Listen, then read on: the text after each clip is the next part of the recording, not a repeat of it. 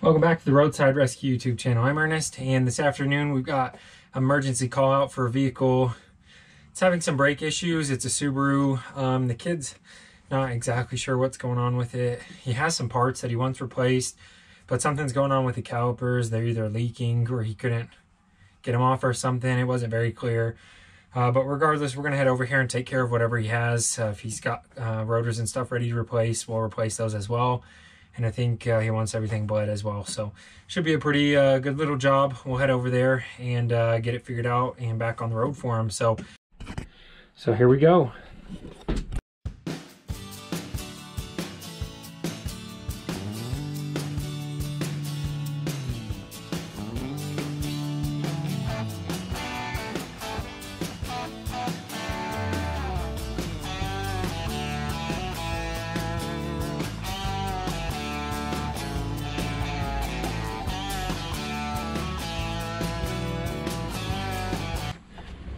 All right, so we just got here. It's a, yeah, just a Subaru Impreza. Um, the other thing that I wasn't sure about is just a lug nut. Uh, two of the lug nuts had been replaced. I mean studs, sorry. So two of the studs have been replaced and they couldn't get them pulled all the way through. So I'm gonna pull that through with my impact all the way and get them tightened down. And uh, we're gonna bleed the brakes. That's the only other thing we have to do. So I'm gonna use my favorite uh, gravity method with a pedal assist. I'm gonna pump it while I bleed that and I'll show you how that looks in a minute. So we'll hop out here, get them bled, and that'll do it. Oh, and we'll pull that stud, but that should be pretty quick. What I'm gonna use is this bottle, which I use to gravity bleed. Again, it's kind of an assisted gravity bleed because I'm gonna pump the pedal to push that fluid through. Um, so we're gonna start with the tire that's the furthest away from the reservoir, which is this rear passenger tire. And uh, we'll get this going. So I'll set it up and show you what it looks like. All right, so I've got this reservoir filled up to the tippy top since I'm gonna be pulling the fluid and uh, we'll start in that back. I'm gonna set up that bleeder and uh, we'll show you what it looks like down there. All right, so I've got the bottle here set up for the gravity bleed. And uh, as long as this hose goes in an upwards direction, that air won't go back in. So I'm gonna pump that pedal a few times. Uh, the fluid's already pretty, pretty clear, so I'll probably just be a little excessive. Maybe rather than pump it five times, I'll pump it seven or eight just to make sure we've got clear fluid all the way through the lines after I wait for a minute for this to start going and you can see on this side right on top of the caliper there it's creeping as well so we'll go ahead and pump it and uh, check back once we do that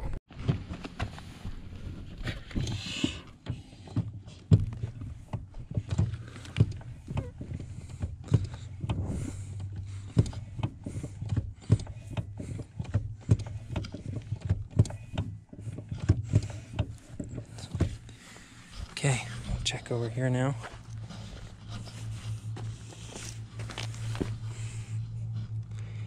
That's got a lot of fluid in there. So I'm gonna wait a few more minutes and uh, just watch, make sure that we don't have any air coming out still, and then we'll close it up and go to the other side. All right, here's that rear passenger side, I mean the rear driver side. I've just got that bled. It looks good, no bubbles. So we're gonna go ahead and close this off and move up to the front. All right, so we just got all the all the brakes bled. I'm gonna clean them off with brake cleaner. Make sure we didn't get any brake fluid on these nice new red calipers. And we're gonna pull this lug in here, uh, this stud, and uh, that should about do it. So I'm gonna get it running with this impact, and then I'll torque it down after that.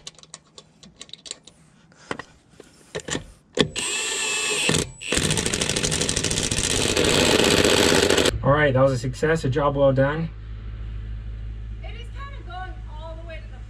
Okay, let me see.